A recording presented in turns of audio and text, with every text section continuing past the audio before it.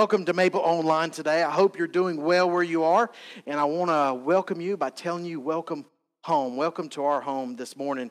I encourage you to continue to follow us online, continues to follow us on our Maple Springs page. Uh, or you could follow us on YouTube, and that's Maple Springs Seagrove if you want to go that route. I do encourage you uh, to make sure you subscribe to those pages, uh, especially our YouTube page, as we continue to, uh, to push for that 100 mark so we can have other opportunities uh, to be able to, to share God's Word.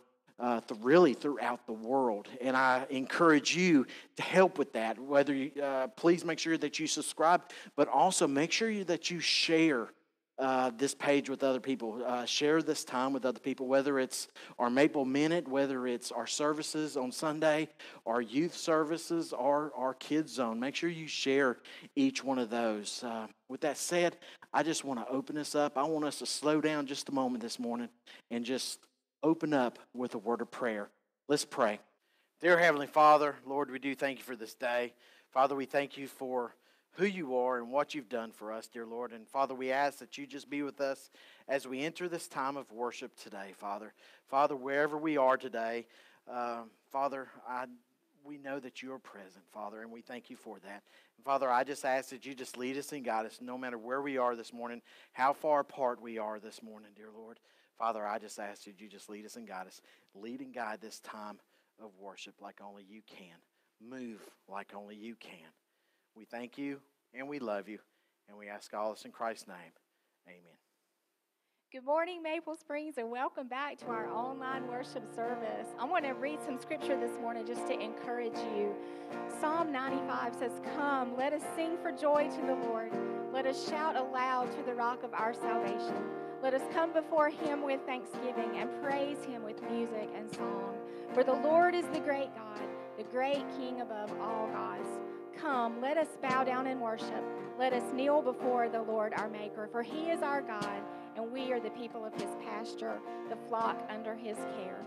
Sing with us this morning.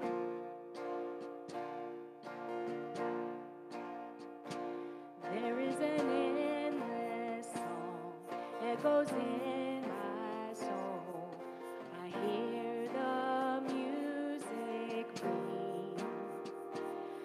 know the storm.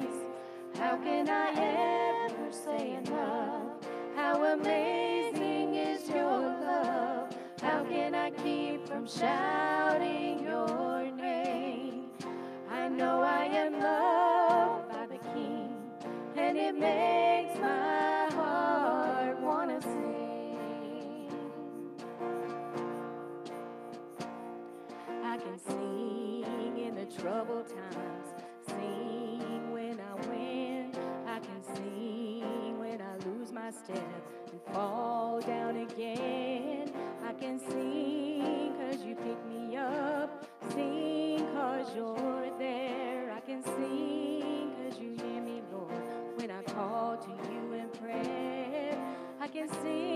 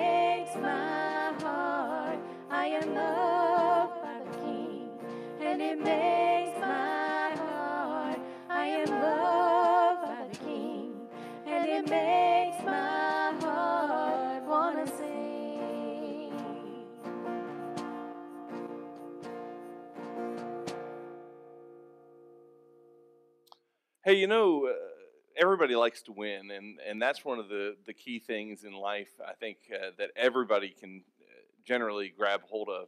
Um, even if you're not uh, big into sports or whatever, we like to win the games we, play. Um, you know, as even as little kids, when you played Chutes and Ladders or Candyland or Sorry or whatever, you wanted to win those games. And then as you got older and you started getting into maybe you got into some little league and maybe you played some baseball or some football, soccer, uh, maybe played high school sports, maybe even got into uh, uh, college sports. You always wanted to win. Um, and not everybody can win, and winning isn't the definition of, of, of life. That's not what we're trying to always uh, worry about is winning, but uh, eh, winning is, is better than losing. Everybody can admit to that.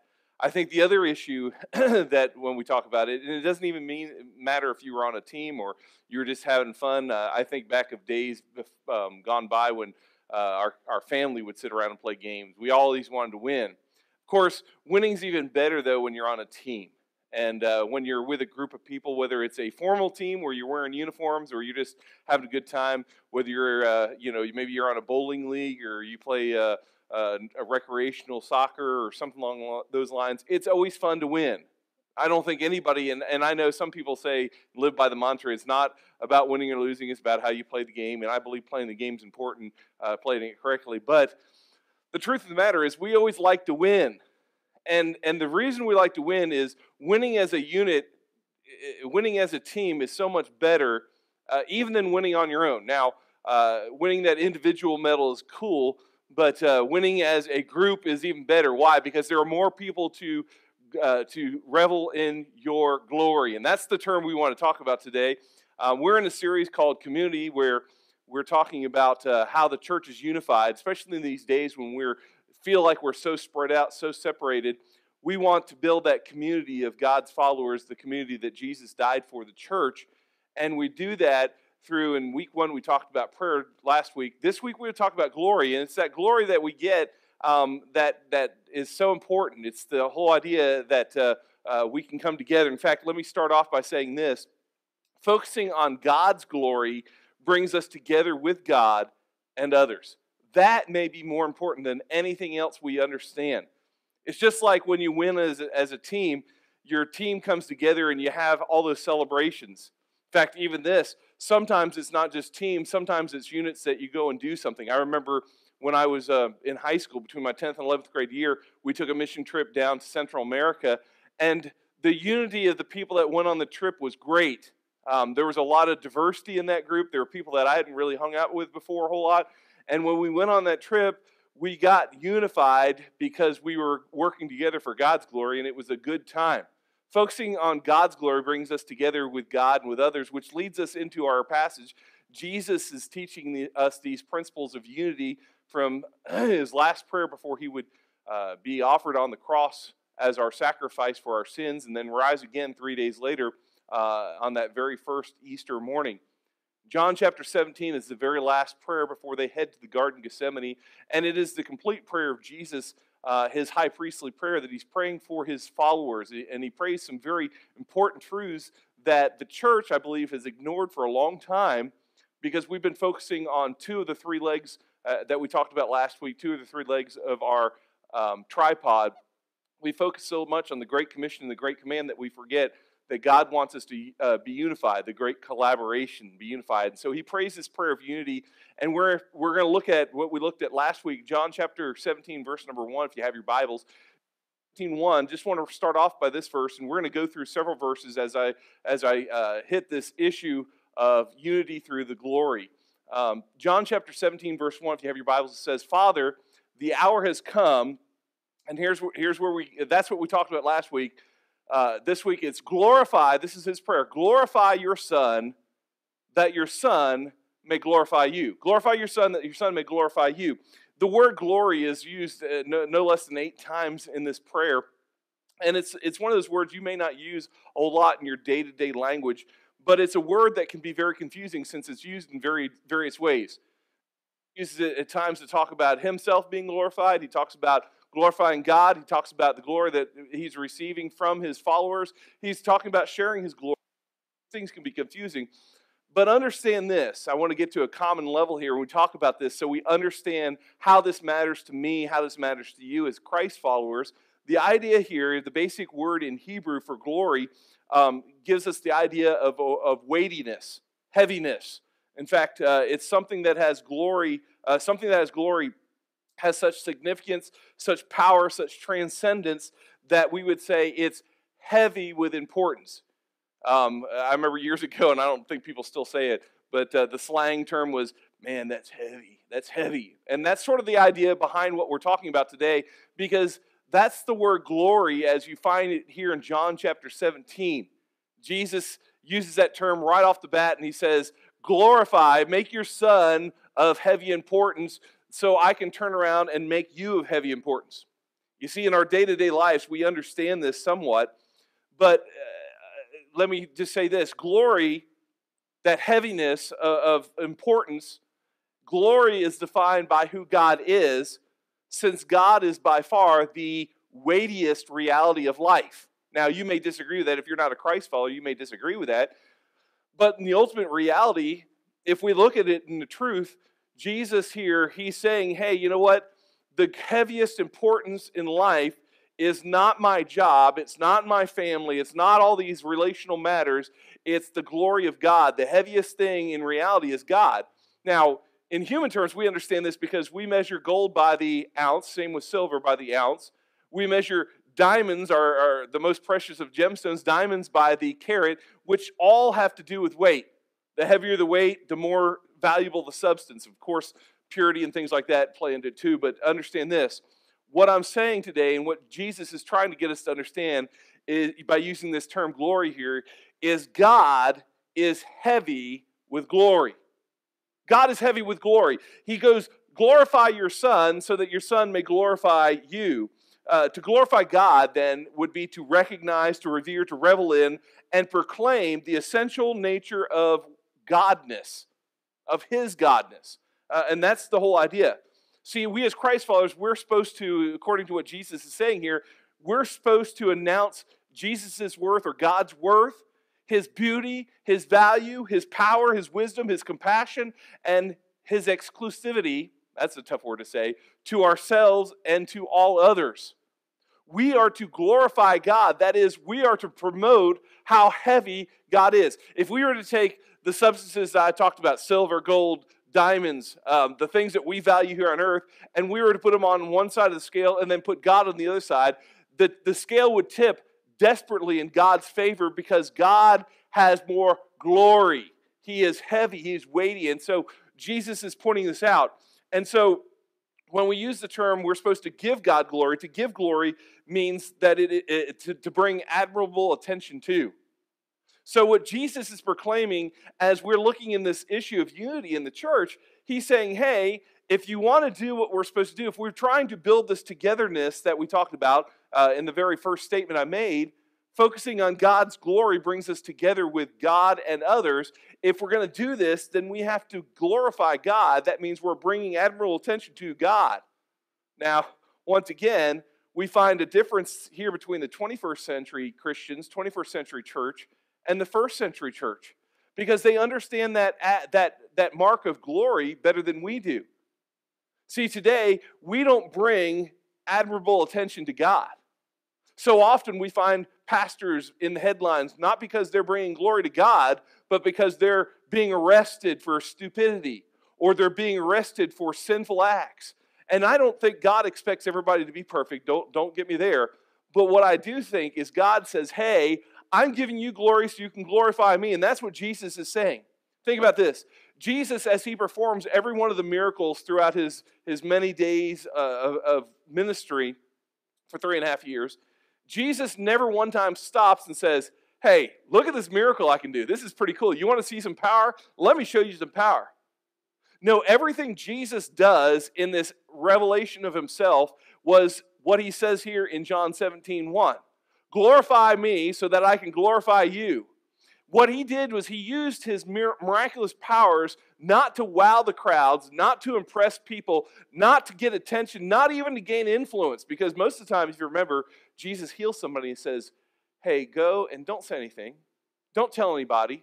Don't tell anybody who did this. Jesus really was saying, Hey, you know what? I want you to give God glory, not me. Because when you give God glory, we're united in glory. That's the whole idea there. See, glory is central to living together with God and bringing people together for God. And the reason we as a church, we haven't done such a great job is we haven't given God the glory. Which brings us to this idea of glory grabbers. This is a problem in today's society. It probably was a problem. Uh, I can go through the Bible and I can point out various times there were people that did this, but it's very prominent in 21st century. Glory grabbers. These are the people who want the attention uh, they're the ones who uh, uh, they want admiration given to themselves. They're the ones that when they're in a, a worship service, they want themselves to be pointed out. They want to sing a little bit louder, even if it's off key. They want to sing a little bit louder than everybody else so that everybody looks at them. They want to make sure that every bit of attention is given to them in Bible studies. They want to act a little crazy and, and do things to get wow, and they will do it um, even in nice ways. They'll tell you, hey, I love you, and, and they, but they're seeking you to say, hey, you're the greatest, you're the smartest, you're the, the wisest. And they don't have a problem with honoring God as long as somewhere along that line of honoring God, they get a little credit for themselves too. Glory grabbers. Glory grabbers, though, the problem is, is they're not only hurting themselves, which is a personal issue, but they're also hindering the oneness of the church and they're slowing the church's advance because the world sits back and says, hey, I know why you're doing that. Hey, I see the shows that you're putting on. We want to be entertained, we'll go to somewhere that's, that's built for entertainment. People don't come, for the, come to the church, and I think we've forgotten this in 21st century. People aren't coming to church to be entertained. If they are, they're, they're, they're at the wrong place. You can get far better entertainment with Disney and, and other places that are built for entertainment. Go down to the movie theater if you want good entertainment. What we are supposed to be doing is helping people on their journey. Remember our mission? We're helping people at the very stages of their life on their journey towards Christ, with Christ, get closer to Him. And that's the whole idea there. See, Jesus was the opposite of the glory grabbers. His one purpose, as we, we already saw there in, in John 17 1, is stated in that opening request glorify your Son so that your Son may glorify you. But if we don't look at the very first statement that preceded it, then we will miss really what's going on here. He says, Father, the hour has come, which leads us to that question, and we probably know the answer, but it, the question is, what hour? What purpose will you come for? What is the, the whole work? And really, the whole work here, this hour Jesus is speaking of, is the hour that was preceding to that Jesus would be, would be crucified. The shadow of the cross was looming heavy on Jesus' shoulders now as it's getting late into the night, as Judas is preparing to betray Jesus. And the hour has come, and Jesus realizes purpose is to glorify his Father at the price of his own life. That's the whole idea. In fact, if you look in, in verses 4 and 5, John 17, 4 and 5 is the next uh, session we see. He says, I have brought you glory, speaking to God the Father once again, I have brought you glory on earth by finishing the work you gave me to do. What work? Well, it was the work of drawing people and glorifying. It really is the work of glorifying God. See, everything has a purpose, and God's not an egomaniac, but everything in life is built and is designed for the glory of God. Even our existence, even the existence of evil people and evil circumstances is built upon the glory of God. Something goes wrong in your life. I know several of you are grieving because you've lost loved ones. Do you realize that loss was for the glory of God? I don't understand all those things. You say, well, I had a, a, friend of mine died. I had a child die. I had a grandparent die. I had such and such, you know, this person had this happen. You can talk about things like cancer and diseases, maybe miscarriages, maybe other problems in life. But I want you to know what Jesus is saying everything was built on the fact that this hour, this hour of total glorification, see, the hour that he's speaking of is the glorification of God to the fullest, where Jesus, who is not being glorified fully, He's going to enter into that circumstance where he's separated from God. He's going to overcome sin, he's going to overcome death, and he will be glorified once again in the presence of God the Father, the ultimate glory. And he says, he goes on, verse 5, and now, Father, glorify me in your presence with the glory I had with you before the world began. That's the whole idea. He, he goes on to think this thing through. So, what we're saying here is his life was lived for the work the Father gave him to do. That's how he lived his life. In fact, you go back to think about this. He's 12 years old. He's been separated uh, from his parents, and he's in the temple. And his parents have been gone three days. Uh, and that I, it makes you wonder about the parenting thing here. But anyway, that's a whole other message. But they didn't miss him for three days. Either that he was that good of a kid, and I believe he was that good of a kid. But they didn't miss him for three days. So they find him. He's in the temple and he's teaching he's doing something extraordinary and when they they you know they sort of scold him for being absent from them what does he say? He says hey i'm here doing my father's will. I'm doing my father's work. I must be about my father's business. What he's saying is my business is to glorify god and so here i am at the age of 12 i'm glorifying god. I'm glorifying god in the works that i'm doing. I'm glorifying god and every step of the way was him glorifying god Every hour had been for the glory of God, and, and he did his assigned work to the admiration of the Father. Think about this as, the, as John the Baptist baptizes Jesus, what happens is you hear this voice that says, This is my beloved Son, in whom I am well pleased. In fact, several times it tells us to do that, and then it says, Listen to him. Listen to him. This is my beloved Son, because he knew the purpose and realized this. He was looking forward to seeing Jesus was following the, the, the practice of glorifying God. In verse number 10, the uh, second half of verse number 10, Jesus says this, and glory has come to me through them. He's talking about his disciples. He's really talking about us, but he's talking about his disciples too. And he says, Glory has come to me through them. So, what we get out of that is we get the expectation that we are built to glorify God just as Jesus was glorifying God. And, and, the problem is, is that sometimes we become glory grabbers, as I already said. And glory grabbing for ourselves diminishes the unity with God and others. See, I see a lot of churches, in fact, it doesn't take much to look back over the last 20, 30 years and look at the famous headlines of, of major denominational, major church leaders and how they've fallen from grace for either stealing money, embezzling, having affairs, doing evil practices.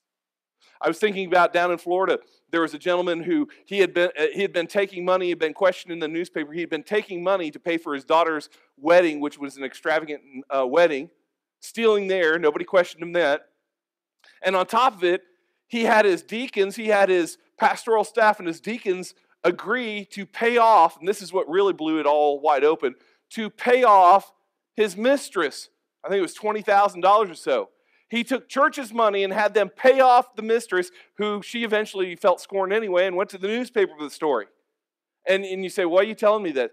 Because what happened is a church that was once one of the major vibrant churches in the Orlando area is now a church that is talked about in regards to the actions of its pastor because he gla- grabbed the glory of God for himself we've got to be careful. You look at uh, a lot of the denom- a lot of the struggles in major uh, speakers, major uh, authors, Christian authors that we all love to read and we love to hear. You know what they're squabbling about today? They're not squabbling over a doctrine. They're squabbling over who's in charge, who's more prominent. Should a woman be in charge or should a man be in charge? And you know what I'm sitting back going? They need to read John 17 because Jesus says, Don't give the glory for yourself, give the glory to God. And the reason the world's sitting back shaking their heads is because the world says, I don't want to be a part of something that you guys can't even agree with each other. You guys can't even get along. So let's stop being glory grabbers. So is this our determination? Are we seeking what Jesus wanted? Jesus says, Hey, you know what? I'm here to glorify my Father in everything I do. Is that your determination in how you live your life? is, is is your passion to bring attention, uh, affection, and admiration to the Father. That's what Jesus wanted. That was his sole purpose in everything he did. And that manifested itself in the cross. We keep going down through John 17. We find the next instance there in John chapter 17, verse number 22.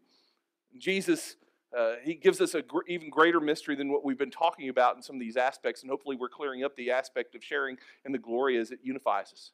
He says this I have given them the glory that you gave me. That's shared glory. That's crazy. And, and, and think about what he's saying there.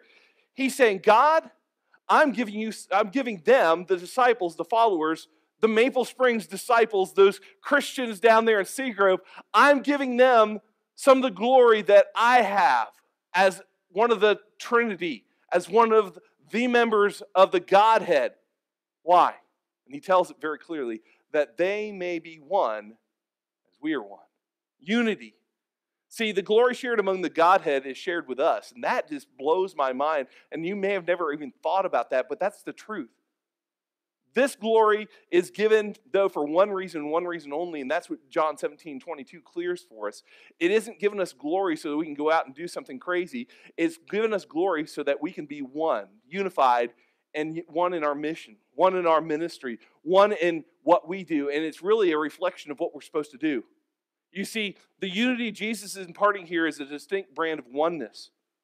It's not produced through philosophical alignments well, I, I agree with the philosophy or not.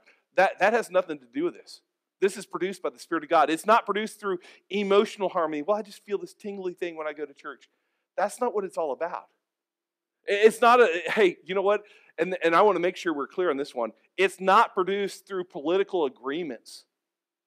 I think that's one of the downfalls today, and you've heard me say this over and over again. And I'm not trying to make anybody upset, but the church is not a political institution. Governments will come and go. And I am as patriotic as anybody here. My dad taught me that, and that's the truth. But you know what? God's kingdom is not the United States of America. God's kingdom was started through Jesus Christ, and it's promoted, and it is a kingdom of heaven, not here on this planet. We can get into that a little later. This oneness, though, this unity that we share, this glory that we share, is created by the Spirit of God in the same manner as it is experienced in the Godhead. And that blows my mind when you think about it. That's what Jesus is saying here in John 17 22. He says, You know what? The same glory that I you gave me, I'm giving them. And, and, and we, we miss that power, we miss that glory. We can't attain that, that unity, we can't attain that glory through our own wisdom and our own efforts, though. And so often that's what we've decided we would do. Let's just work harder. Let's just have better, better this and better that. And you know what? It better's not bad, but better is not God's glory. And I think so often we get sidetracked as, as uh, Jim Collins would say, we, we've, we've settled for the good when we should have been going after the great. The greatness of God. God says, I've given you glory. Why are you settling for crumbs? I've given you glory. Why are you worried about uh, how comfortable you are. I've given you glory. Why are you worried about doing anything other than glorifying me? Because that was what we're called to do. You see, we honor others. Uh, we honor, let me say it this way we honor other believers because they too are carriers of the Spirit of God. And so we glorify Christ in them. Several years ago, I was in uh, Tanzania, Africa. I, I took a group of guys and we went to the foothills, uh, the foot of uh, Mount Kilimanjaro. And uh, our project there was to help a community that was very poor build a, uh, they had a, a mud hut type building. We went and built them a solid building. Now, nothing like you have here in the United States, but this was a pretty nice building. But I remember the, the Sunday that we had finished the building, it was the Sunday we're going to go in. We're going to have a dedication sermon uh, service. We're going to have uh, dinner on the grounds, and there would probably be, I think there was somewhere around seven to eight hundred people there that day from the village. Big event. White men in town. It was a big event because there's a new building they want to see, and we're feeding everybody. But I remember that morning, the uh, the missionary had asked uh, if we would go and uh, start the morning off by having a bit of breakfast. And he, and, and he, he said, it'll be small, it won't be much, um, but a bit of breakfast with the pastor. Now, he's talking about the national pastor. The national pastor didn't live in, in uh, wealth or opulence. In fact, I remember when we, I remember how, how humbled I was when we walked into his hut. His hut was just a dirt floor, um, small, probably 10 by 15 room. They did everything in it. And as we sat there and the chickens ran across our feet and, and all kinds of other animals, he had gone out that morning and sent someone to the store, um, which was very unusual. He didn't have much money. He doesn't make hardly anything because he's a bivocational pastor. He has to, to make his own money and he doesn't get paid to be a pastor. And he went out that morning and wanted to sacrifice his money to do something for us.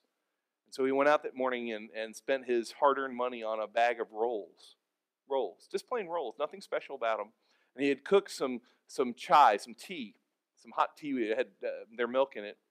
And we sat there, and each one of us had a roll and some milk. And he didn't speak English. I don't speak Swahili. Yes, there was an interpreter, and so we had some interaction. But it was just quiet in that early morning. Early morning before church would even think about getting started as we sat there and we just had a roll. And I remember feeling how humbled I was. But I remember feeling connected to this man who I really didn't know, who I couldn't even speak with, who our skin colors were so different. I remember feeling so connected, and I remember feeling God's power in my life more, more keenly, more greatly as I connected with this man who I couldn't even speak the same language. Why? Because we were one, we were unified as we tried to glorify God. We were unified in the glory of God, and that's really what it's all about. We glorify other people by glorifying Christ in them. And that's how we connect, and that's how we unify our church. See, when I look out at the congregation at Maple Springs, I realize there's a lot of different personalities, a lot of different backgrounds, a lot of different, um, different styles. And when we all come together, it could be awkward at times, but we don't come together just for social interaction. We don't come together just for fun. We come together in the unity of God. And we share in His glory with each other. That's how we can love each other. That's how we can honor each other. And when we do that, we best glorify God. Isaiah chapter 42, verse 8, God speaks to the prophet Isaiah and he says this He says, I am the Lord. This is an amazing verse. I am the Lord. That is my name. I will not yield my glory to another or my praise to idols. I will not yield my glory to another. You know what he's saying here? As we reflect back on what Jesus is saying, what we gather here is our glory is sourced only from God. We share in what belongs to God. It's not something that, hey, you know what, Maple, we can't go out and get glory from our community because it would be false glory. It wouldn't be anything. See, to take any of God's glory for ourselves becomes a treacherous act, encouraging a significant break in the church, and that's one of the problems of churches today. They've looked to have better bands. They've looked at, and there's nothing wrong with have, having excellence in your worship. There's nothing wrong with having excellence in how you communicate truth. But I want you to know so often that these major, uh, these major narcissistic leaders, no matter what side, I've seen narcissistic leaders in churches of 300, 150, 100, all the way up to churches of thousands. And they start thinking that they're God. And here's the idea we can't be one we can't be in unity if we're hijacking God's glory for ourselves. Because the idea behind what Isaiah is saying there gives us the idea of the moon and the sun, right? See, the, the moon shines very brightly some nights when the sky is clear, but the truth of the matter is, you know this to be true. The moon doesn't really shine at all, it just reflects the sun. And that's really the glory that we're given is God's glory reflecting off of us so that it can be shined on a world all around us. Towards the end of his prayer, Jesus makes a unique request there in verse number 24 as we finish up. Verse number 24, Jesus prays, Father, I want those you have given me to be with me where I am. Now, he's not talking about locationally.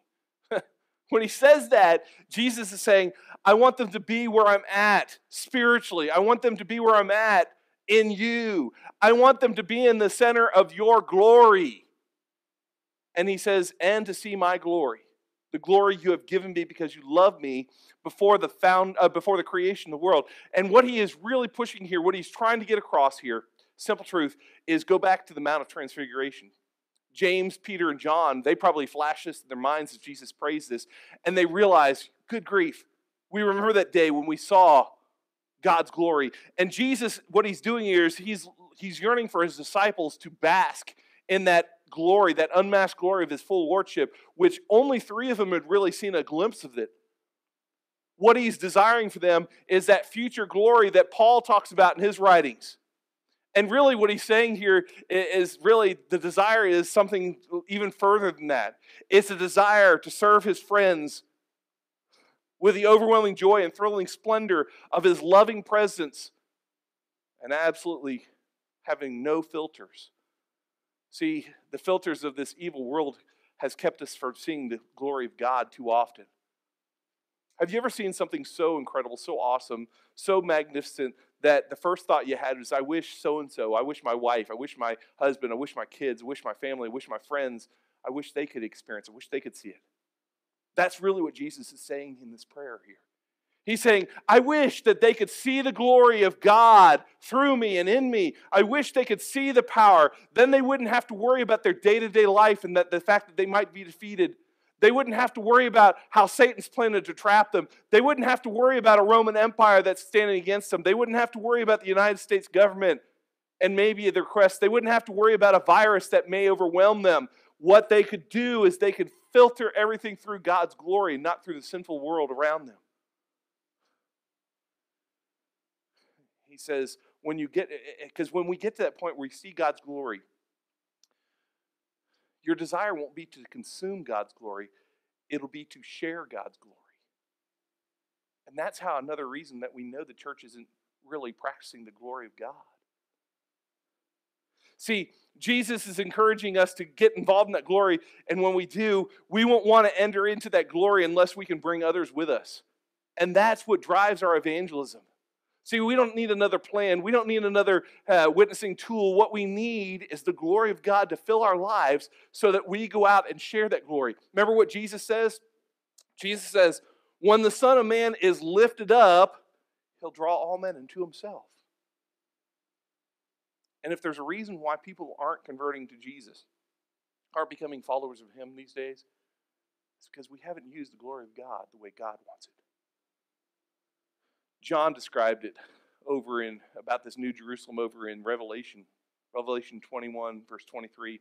This is what notice what John says here. He's talking about this glory of God. He says, The city, that is New Jerusalem, does not need the sun or the moon to shine, for the glory of God gives it light, and the Lamb is its lamp. That's the glory that we have to live in. You say, that's in the future. No, we can live in God's glory. If you read through John 17, we can live in God's glory now. See, sharing in God's glory means we see His glory in one another. And that's what's great. We don't look at our, our fellow church member, we don't look at our fellow Christians and look at their problems because we all have problems. We look at them and see the glory of God in their life. It's not about just filtering good things, it's about filtering the glory of God. We share the glory of God with each other because we see Jesus in each other which leads me to the final truth. I always try and leave with one truth, and this is it. Unity is built when we live fully focused on one glory God's. You know, maybe today you're sitting here and you've, you've thought about the glory of God. Maybe this wasn't exciting as some of the messages. Sometimes it's easier to teach stories and preach stories because they're just so cool and so exciting. But when you get down to the truth of the glory of God, how do we get a unified church? How do we build our church in the unity that Jesus prayed about? We have to live fully focused on the glory of God. I don't know about you. Maybe you're not a Christ follower. And this whole aspect of glory, you're sitting back going, wow, this is crazy. It's crazy until you know who Jesus is. If you don't know who really Jesus is, I would encourage you today contact someone, contact us. I would love to, to have a conversation with you about who Jesus really is. I, I, I urge you to seek more about him. But you know, the truth is, you're off the hook because most of these messages right now that I've been, these messages about Christianity, about the church, about people who, who have given their lives to follow Jesus. But the truth of the matter is, if we think about this aspect, unity is built when we are fully focused on one glory, God's. I think, in my own shame, I think too often I've sought other glory. I've sought my own. I've gotten distracted by seeking my favorite teams. Maybe, maybe that's where you find yourself. I've sought the glory of other things, accomplishments. I've sought the glory of the United States of America. I've sought the glory of all these different things. And you know what God says? Remember what Isaiah said? You go back to that quote in Isaiah. He says, God says, the, God, the Lord is my name, and I'm not sharing my glory with anyone. No idols get my praise. So let me ask you what have you really sought to promote in your life? If we went and took your social media, your Facebook page, and we looked at it, what are you promoting? Are you promoting God's glory? Or are you promoting something else? Now, it's okay to have favorite teams, it's okay to have all these other things. But you know what? I learned some lessons that I was worried more about my favorite college team than I was worried about God's glory sometimes. Sat back, thought about some of the pastors I worked under, and I saw them, they were worried more about the glory of their favorite team than they were the glory of God. In fact, their messages became about their teams, and I don't want to ever do that. Let's follow what Jesus prayed. I think the best days of Maple Springs Baptist Church are far ahead of themselves when we seek to, first of all, unify under prayer, and then secondly, unify by promoting the glory, the glory of God. So, what are you going to do this week? I encourage you in this, this next couple days, instead of just talking about the weather, instead of talking about COVID 19, instead of talking about all the various other things, hey, seek to promote the glory of God through conversations that lead to God. I'm not talking about taking a hard nose, are you going to heaven or going to hell kind of stand. I'm just saying, hey, learn how to talk about the glory of God. Somebody comes to you and they say, talk to you about a, an issue in their life. Why don't you turn it around and say, hey, God may be working in this area. Let's lift God up like He desires. Let's pray. Our most gracious Heavenly Father, God, we give you the glory, the honor, the praise that so often we've kept for ourselves, so often we haven't given to you, so often we've put in our church buildings, we put in our praise teams, we put in our, our, our media, we put in all the different things. God, we want to give you the glory, for you're the only one who deserves it. And anything we've gotten, God, help us to filter it through our lives and understand it's just a reflection that needs to go back to you. So we pray as a church that you would draw us closer, help us to unify by glorifying you in our workplaces, in our places of recreation, on our social media. God, help us to stop posting memes and start turning people's attention to your glory. Help us to be about your business, just as Jesus was. We thank you for loving us, but we thank you most of all for dying for us on the cross and rising again that third day. We thank you for everything. We ask all these things in Jesus' precious and holy name. Amen.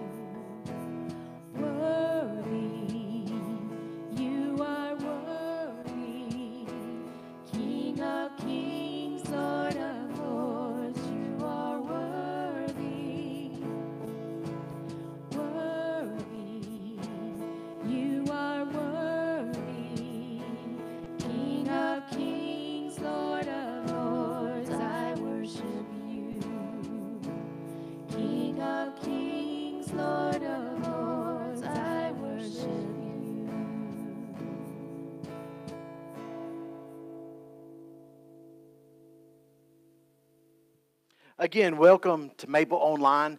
I'm Tracy Marsh. I'm the youth pastor here at Maple Springs, and I do want to mention a few ministry opportunities that we actually have uh, coming up the next several weeks. Uh, as you know, with uh, with still the stay-at-home orders and everything that's going on, and and we want to honor our communities uh, and follow uh, that directive that's in front of us. But we also have a couple dates in front of us uh, that are coming up. First of all, we have Mother's Day coming up this week. Uh, kids, husbands, I want to make sure that you realize that that that they're probably still going to expect something, uh, whether it's a homemade card or whatever. I'm just putting that out there. Uh, but don't forget that that service uh, that service is still going to be online, and also our homecoming service uh, coming up May 17th is is is going to be online as well. Things are just going to be different this year, but this is where your ministry opportunity is. Invite folks to the page in order to watch that. Invite them to the YouTube channel so they can watch those online, whether it's, it's family that you haven't seen in a while. Uh, for the homecoming service, give them opportunity to still be a part of it, uh, whether it's still online or not. Uh, so please make sure you you know that, and also don't forget this week, um, this Thursday is National Day of Prayer. This actually uh, came about back in 1952 when our government decided that we needed to make sure uh, that we call to God. Uh, and I think, you know what, this year it's no different. Uh, we need to we need to call to God. Uh, so this Thursday is a National Day of Prayer. I encourage you uh, to make sure that that you set aside time that day, whether it's through fasting, whether it's through your time, you set time up throughout the day. I encourage you to do that and pray for our nation uh, our nation needs our prayer. And speaking of prayer, uh, this is the time that we come together and pray for one another. And I encourage you to make sure that you're doing that. Uh, pray for each other as we are. We seem like we're so far apart, but yet we're still family. We're still the church. So we need to continue to pray for one another. I do want to mention Miss Cole to you this morning. I, I, do ask that you continue to pray for her.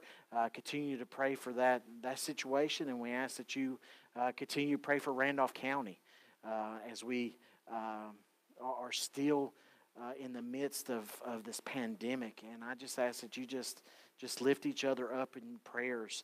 Uh, and with that said, uh, let me ask you a question. Uh, have you had a difficult day this past week? was yesterday a difficult day? Was was a week ago a difficult time? or maybe today? today are you having that difficult day? Or maybe you know that you're going to have a difficult day one day next week. Whatever the case, let me encourage you to do something. Don't rely on yourself.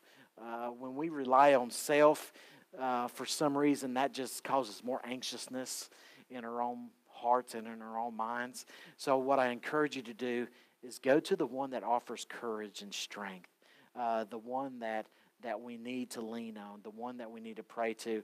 And that's a scripture that I want to share with you this morning in Philippians chapter 4 verses 6 and 7. Paul writes, "Do not be anxious about anything, but in every situation by prayer and petition with thanksgiving present your requests to God, and the peace of God which transcends all understanding will guard your hearts and your minds in Christ Jesus. What a promise he gives us there. Notice what Paul says, though, in every situation. What he's saying here no matter where you find yourself, no matter where you are on life's highway, guess what? God is there. Lean on him. Give your request to him. Let's pray. Father, we thank you for today. Father, we thank you for each and every day that you give us. Father, we thank you for all that you have given us, all that you do for us. Father, you are so gracious, and we thank you so much for that. And Father, we do uh, lift up Miss Cole to you today. Uh, Father, we ask that, that you just be with her, lead and guide her and the family, dear Lord, Father, as they go through this time. Father, I ask that you be with your church. Father, I ask that you be with Maple Springs. Father, I ask that you be with, with every member. Father, I ask that you be with every ear that is hearing this today.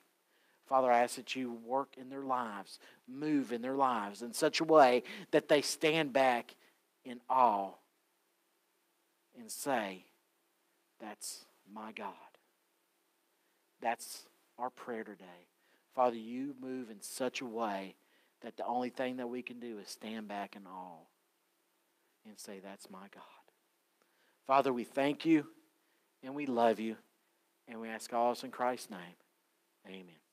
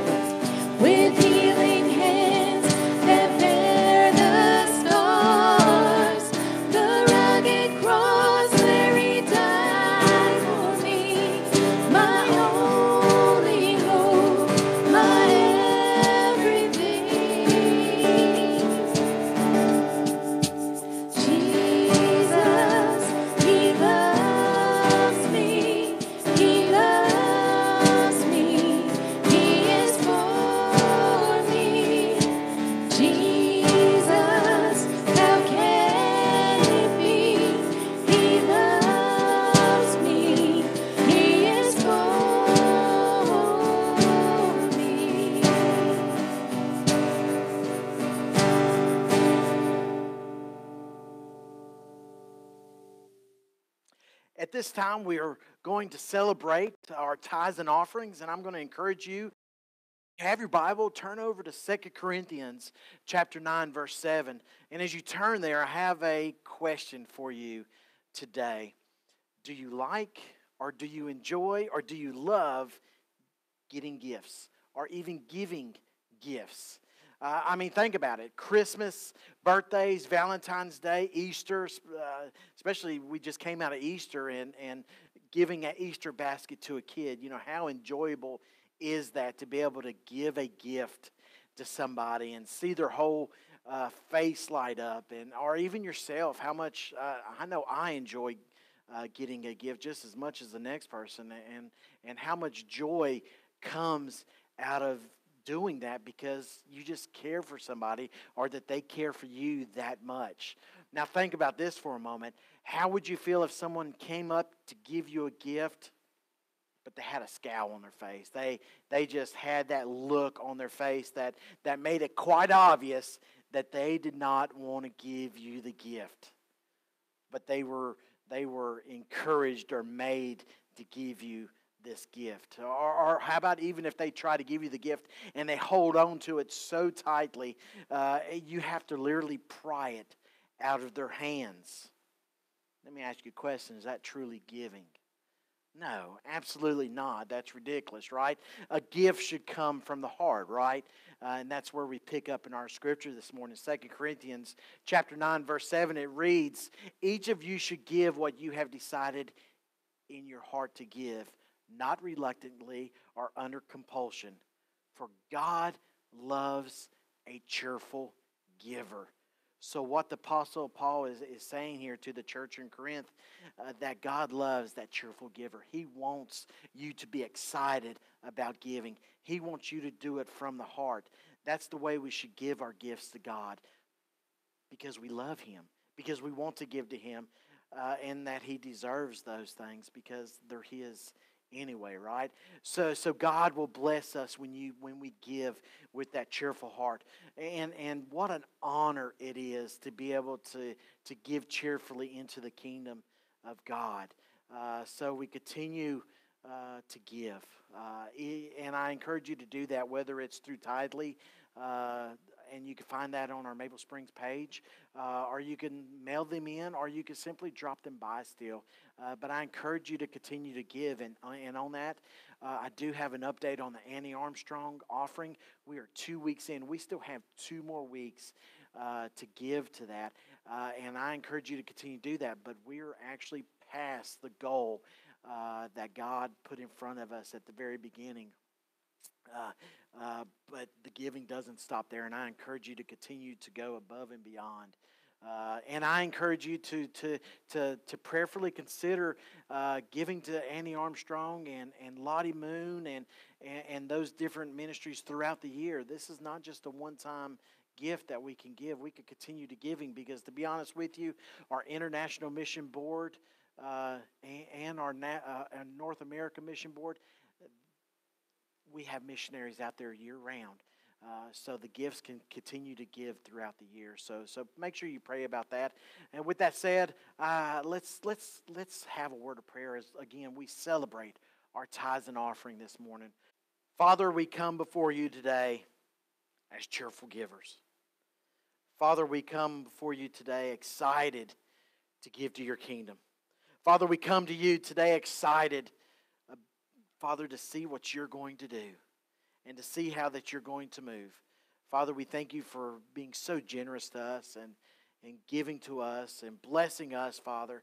And Father, in turn, Father, we give it to you. Father, we give ourselves to you, Father.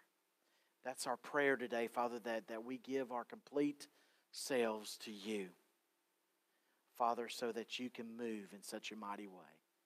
Father, that's what it's about. Always. Father, may we be so excited to give to you. Father, we thank you and we love you, and we ask all this in Christ's name. Amen.